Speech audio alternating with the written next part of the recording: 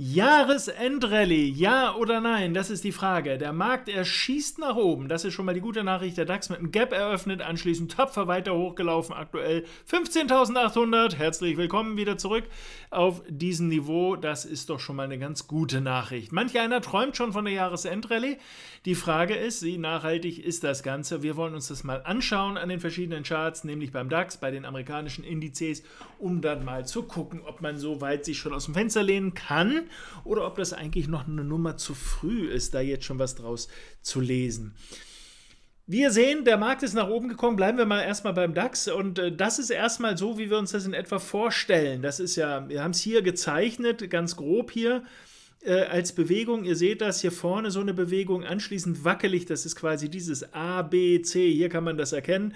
Und anschließend die Aufwärtsrichtung nochmal, damit hatten wir gerechnet. Und hier wird jetzt entschieden, ob der Kurs nach oben geht oder nach unten. Wo genau wird das jetzt entschieden? Liegt das an dieser roten Marke? Nein, die rote Marke ist es ganz sicher nicht. Es hätte auch diese rote Marke locker schon gereicht, um das äh, Angebot anzunehmen. Aber es wird in diesem Umfeld äh, entschieden. Man kann das ganz grob auffassen. Ich mache mal diese Zeichnung hier bewusst weg. Wir können es ganz grob auffassen. Dieser Anstieg hier und der hintere, die sind sehr gerne ähnlich lang. Das kann ein bisschen weniger sein, kann ein bisschen mehr sein. Noch sind wir in dem Bereich ein bisschen mehr. Wir sind ja, hier ist die 100%, das heißt die Länge hier vorne, hier ist das A, B, C und dieses hier hinten. Da wäre es genau gleich lang gewesen. Da hätten wir schon mal das erste tolle Angebot für eine Wende gehabt. Erstens mal, weil die sind zugleich lang. Zweitens die 50er-Marke. Da war für den einen oder anderen schon eine Möglichkeit für einen Dreh. Hat der Markt bisher nicht genutzt. Das ist ein Zeichen. Das nächste ist, wir sind deutlich weiter gelaufen, bisher noch ohne Ambition irgendwie nach unten. Wir sind noch in einem Rahmen, ihr seht das hier die 161. Bis dahin ist noch alles safe für so eine Bewegung, die anschließend so weitergeht ist absolut noch möglich. Aber man kann generell sagen, je weiter wir über diesen Bereich hinausgehen, desto kleiner werden die Wahrscheinlichkeiten. Also wenn er jetzt sogar noch weiter steigt, wird die Wahrscheinlichkeit, dass das hier kommt, deutlich geringer. Nicht null, um Himmels Willen, aber deutlich geringer. Wir sind also jetzt noch nicht so, dass wir sagen können, ja, es ist schon völlig unwahrscheinlich, dass das passiert. Aber immerhin, das, was wir bis hierhin gesehen haben, lässt vermuten, dass der Druck nach unten nicht groß ist. Es muss also jetzt wirklich schon eine doofe Nachricht kommen, denn die Stimmung ist latent positiv. Eigentlich müsste ich ein Smiley malen. Also das Ganze sieht aktuell von dem, wie die Marktteilnehmer sich äußern am Markt, das ist ja auch nicht zögerlich. Eine Alternative wäre gewesen, wenn die Marktteilnehmer, machen wir es mal hier in den kleineren Chart, im 15-Minuten-Chart, wenn sie zwar hoch gegangen wären, aber schon irgendwie, oh, das ist genauso hoch. Also man kann nicht sagen, die Höhe ist alleine entscheidend, aber ihr seht schon an der Art und Weise wie. Guckt mal, so ist er hochgegangen. Das wäre eine andere Möglichkeit hochzugehen. Wo habt ihr den Eindruck, sind die Leute überzeugter? Wo sagen sie, Goll, so stelle ich mir das vor. Und wo sagen sie, na, kaufen vielleicht besser, mal gucken. Ja, das ist wohl diese Variante hier. Das heißt, die Stimmung ist super. Das heißt, wenn es jetzt eine schlechte Nachricht gibt, muss sie wirklich auch reinknallen, damit da was Schlimmes passiert. Ansonsten ist eigentlich jetzt nicht damit zu rechnen, dass das passiert. Im Gegenteil, die letzte starke Bewegung ist ja auch wieder nach oben. Wo auch immer. Aber wenn irgendwann hier eine Korrektur mal kommt, das kann auch sein, dass die erst später kommt, wäre das das Zeichen, äh, guck doch mal, das ist doch wieder unser Klassiker hier, der Fünffeller nach oben. Und das wiederum ist im Kleinen ein gutes Zeichen, dass wir schon hier in der fünften Welle dann so langsam unterwegs sind. Wir vielleicht gar nicht mehr darauf angewiesen sind, dass wir doch noch mal einmal tiefer gehen. Ja, geht das denn? Ja, gehen tut das immer. Wir müssen ja immer mit den Wahrscheinlichkeiten dealen und die Wahrscheinlichkeiten durch den jetzigen Anstieg steigen deutlich für die Long-Seite. Das heißt tatsächlich, bin noch nicht 100% überzeugt, muss ich aber in dem Moment auch noch nicht. Aber ich habe zumindest mal jetzt den besten Grundstein, dass wenn wir Korrekturen erleben, sei es im Kleinen, so intern oder später im etwas größeren, bis wieder in die Mitte dieser gesamten Aufwärtsbewegung, so ähnlich wie dieser hier jetzt, in die Mitte dieser Aufwärtsbewegung. Ja, so 38 bis 61er Marke, ihr kennt das Prozedere. Ja, dann haben wir noch mehr Evidenz oder Hinweis mindestens mal darauf, dass der Markt richtig Bock hat auf nach oben. Also, das heißt, Ihr erinnert euch, ich hatte das hier eingezeichnet als eine Möglichkeit und hier irgendwie in dem Umfeld, das ist jetzt nicht messerscharf auf genau einem Satz, hier wird jetzt entschieden, ob das folgt oder ob das folgt und im Moment gibt es keine Anzeichen für diese Variante.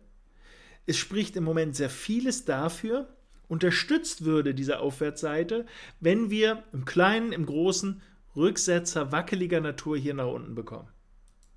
Ja, also daran seht ihr, worauf wir da achten. Wir wissen das im Zweifelsfall auch nicht im Vorhinein. Ja, das ist etwas, was man häufig Charttechnikern unterstellt. Ja, ihr glaubt, dass ihr was in der Zukunft. Nein, ich weiß es nicht. Ich kann aber erkennen, wie die gerade drauf sind und kann dann sagen, wenn ihr nur zögerlich runterkommt, scheint das ja nicht eure wirkliche Überzeugung zu sein. Dann mache ich dann in die andere Richtung nochmal mit. Also, das Bild tatsächlich beim DAX, wir gucken uns die Indizes der Amerikaner jetzt nochmal an, sieht gut aus, zumindest mal aktuell. Und je weiter wir uns von diesem 1 zu 1 Projektionsziel entfernen, desto mehr spricht es für diese Richtung. Unterstützt würde das, wie gesagt, durch Korrekturen nach unten. Ja, aber die müssten tatsächlich dann auch erstmal kommen. Im Moment, gucken wir mal schnell, wie ist so der letzte Stand? Gibt es da eine Korrektur? Ja, Im Moment gibt es keine Korrektur nach unten. Also muss man noch nichts großartig tun. Was ist denn eine Korrektur? Gerne dreiwellig. A, B, C. Hier haben wir sogar ein Konz für die Profis unter euch, die schon mal eine Stufe weiterdenken wollen. Wir hatten hier vorne sogar schon eine A, B, C. Da konnte man sich eventuell sogar schon mal in die Irre führen lassen. Diese klappt gar nicht. Ja, das ist manchmal tricky. Dann wird man notfalls mal hier ausgestoppt, hat dieses Minus. Ja? Die nächste Variante ist dieses gesamte. Danach haben wir nämlich nochmal eins. Das sieht nach einem Double Zigzag aus. Vorne ein Zigzag, hinten ein Zigzag. Also sprich dann hier dann entsprechend nochmal den Einstieg und dann sieht man, okay, aber dafür haben wir das jetzt auf der Habenseite. Das heißt, diese kleinen Risiken müssen wir immer wieder eingehen und wir haben nicht die Garantie, dass das immer gut geht. Aber hey, so what? Wir haben zumindest mal einen Hinweis darauf, dass das regelmäßig uns die richtige Richtung beschert. So, das hatten wir natürlich äh, beim Dow jetzt auch, diesen deutlichen Anstieg. Und auch hier sehen wir, ich hätte das hier gerne gehabt. Bis wohin? Naja, eigentlich in diese Kiste. So, wir machen jetzt mal zumindest das hier weg. Ich habe extra mal die Zeichnung von gestern gelassen. Das ist meine Lieblingskiste, da muss er rein. Wir sind im Moment hier. Es ist also sehr realistisch, dass dieses Bild nicht kommt. Er hat aber auch nicht Anzeichen gemacht dafür. Er hat weder die Unterseite getriggert, hier das hier zum Beispiel, auch nicht hier irgendwelche Unterseiten, noch dass wir hier im kleinen Verlauf irgendeinen Schub nach unten haben und wackelig. Also das heißt, ja, der Markt zeigt im Moment, auch mit dieser Bewegung, er hat Bock auf mehr. Und es muss wirklich was Doofes passieren, dass die Marktteilnehmer sich noch die Wurst vom Teller ziehen lassen. Ja, also es reicht jetzt nicht so von wegen, äh, morgen regnet's, da sagen die Leute, geil, wir haben ja alle einen Schirm oder wir bleiben drin oder keine Ahnung. Lasst euch was einfallen, aber die Stimmung ist nicht schlecht genug, dass der Markt dann sofort zusammenklappt. Äh, Wenn wirklich was ganz Doofes kommt, klar, kann das immer passieren. Da sind wir nicht vorgefeilt, deshalb benutzen wir ja Stops. Auch hier hatten wir eine Variante, nämlich den Schub nach oben, den kriegen wir jetzt hier im Moment. Das Wackelige fehlt hier aber noch.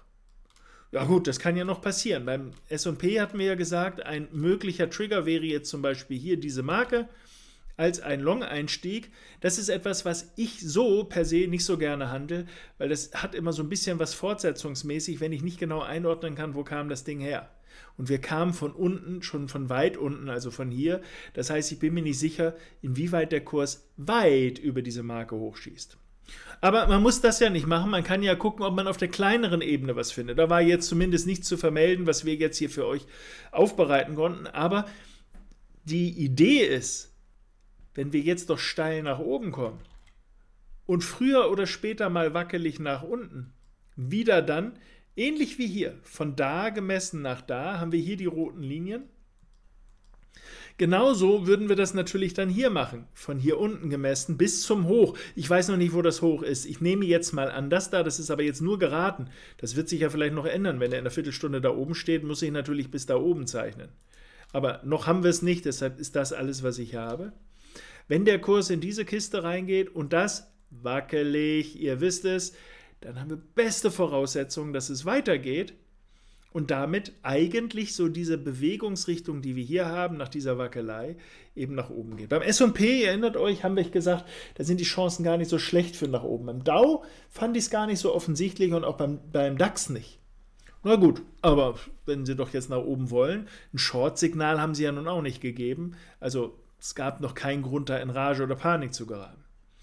Nasdaq ist ebenfalls absolut in der Lage, jetzt fertig zu sein, denn wir hatten ja hier diesen sehr starken Anstieg und dieses A, B, C auf der Abwärtsseite. Zumindest suggeriert das dieser Kurs. Hier in der Mitte das Geplänkel. Das heißt, vorne ging es mal steil, dann hatten wir hier die Pausenzeit, dann hier hinten nochmal steil. Wir sind tief genug reingegangen. Wieso tief genug? Von hier unten nach da oben messen. Wir haben die 38 bis 61,8. Die Höhe reicht. Zugegeben, ich mag es lieber, wenn er rechts von dieser Linie ist. Klar, schöner geht immer, das ist jetzt hier wohl nicht. Aber wir sehen, wir sind jetzt mit einem echten Schub nach oben. Eigentlich ist das hier eine Triggermarke, dieses Zwischenhoch hier.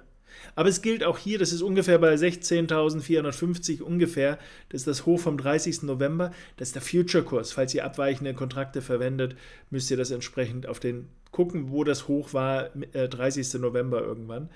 Dieses Zwischenhoch wäre ein Trigger. Allerdings auch hier gilt, der Kurs kam von unten. Das heißt, ich kann nicht automatisch hier die 1 zu 1 nehmen.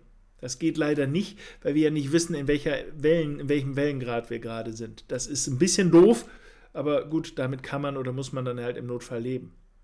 Insgesamt kann man aber sagen, diese Aufwärtsbewegung macht einen sehr guten Eindruck und wenn der Kurs als nächstes wackelig runterkommt, ob das hier ist, ob das da ist, ob das da, aber er wird wackelig runterkommen, so wie das hier war oder hier im größeren war oder von mir aus irgendwo hier vorne im noch größeren war, dann gibt es die Chance, nochmal long einzusteigen. Also, Quintessenz. Alles sieht im Moment für die Long-Seite aus. Es gibt im Moment keine Anzeichen für die Short-Seite. Kann es trotzdem runtergehen? Ja, kann es natürlich, aber es ist nicht das wahrscheinlichere Bild. Das heißt, es ist jetzt nicht so sinnvoll, im Moment auf die Short-Seite zu wechseln. Zumindest finde ich das nicht so aufregend von der Optik, dass man sagt, da muss ich jetzt mich darauf vorbereiten. Wir sind also auf der Suche nach Longs. Was muss passieren? Wir brauchen was Wackeliges in die Gegenrichtung. Das kann A, B, C oder mehrfach mit Überschneidungen so wackeln und dann können wir auf der Vorwärtsseite dann wieder mit dabei sein. Ich weiß, das klingt zu einfach, aber letztlich ist es das. Das Doofe ist, es ist nicht absolut, es ist nicht ja, das klappt immer und damit kannst du keinen Verlust machen. Aber die Chance, dann auf der richtigen Seite zu liegen, ist einfach zu groß. Einfach darauf achten, wo sind die starken Seiten, wo sind die schwachen Seiten. Das geht so intern immer wieder mal und hin und wieder dann auch mal hier, wenn das nicht offensichtlich genug ist. Mir war das hier zu klein beispielsweise dann habe ich halt einzelne Bereiche mal verpasst, dann geht man vielleicht noch eine Stufe kleiner, das wäre jetzt hier was für die Leute aus dem Minutenchart, oder man wartet auf das nächste größere Rücksetzerniveau, das kommt nämlich definitiv, es ist immer so, dass es kommt, auf irgendeiner der Zeitebenen werdet ihr das immer wieder finden. So, mit diesen Gedanken lasse ich euch jetzt erstmal allein, dass das Update hier zu diesen Titeln, euch jetzt erstmal alles Gute, ganz liebe Grüße und äh, toi toi toi.